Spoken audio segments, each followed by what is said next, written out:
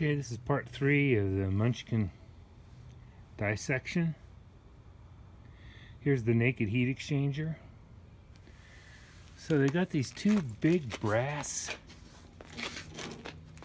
nipples screwed into the header. They almost look like they're threaded. I'll put a wrench on those and see if I can actually get those to unwind. But the heat exchanger sat in here like this. This is the top. So you have a tube way in the back that was went to a pressure switch. This is a temperature sensor. I believe this is a pressure sensor, sensing pressure of the water. Here's another temperature sensor. And one way out here, I guess that's temperature. And then, of course, the relief valve over here. Now, there's a shot of the heat exchanger inside. And I cleaned this heat exchanger a couple years ago. And uh,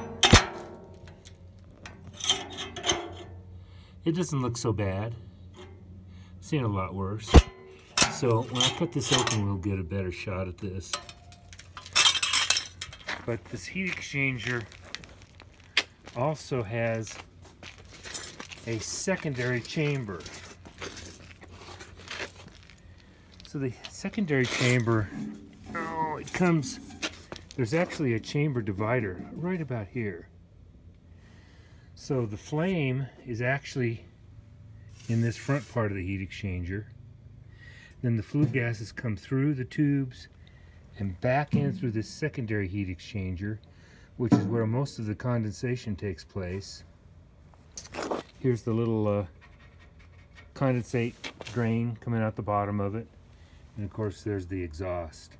So I'm going to cut this dude open. I'm real curious to see what the waterways look like.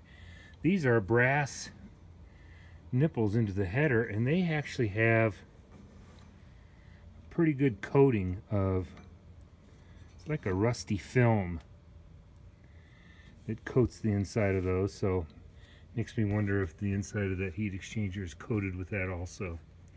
They had a big huge massive pump on this thing so it might have really been zinging the water through there and maybe they uh, that velocity of the water kept the uh, corrosion buildup off of those tubes but we'll find out